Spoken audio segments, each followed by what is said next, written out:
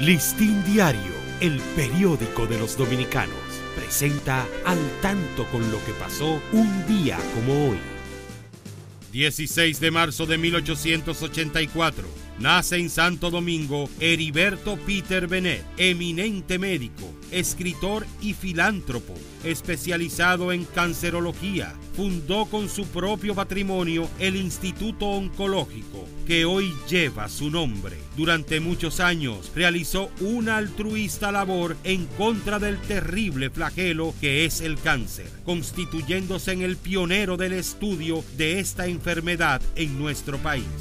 1897. Fallece en la ciudad de Santo Domingo Jacinto Peinado, quien fuera soldado de la independencia y la restauración. En el 1861 acompañó al patricio Francisco del Rosario Sánchez en la expedición encabezada por este desde Haití, junto a otros 21 patriotas quien a lo largo de su vida ocupara diversos ministerios, nació el 16 de agosto de 1826.